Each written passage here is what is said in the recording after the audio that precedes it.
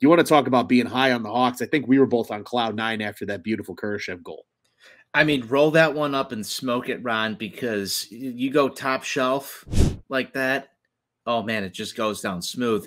Uh, and when you exhale and you see it cross the line, it's just so sweet.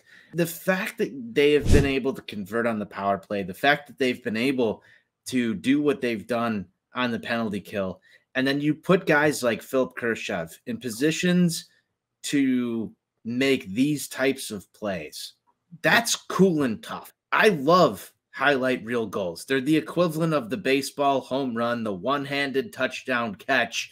Like in, hockey, highlight reel goals like that with the dirty dangles mean so much. And there you go.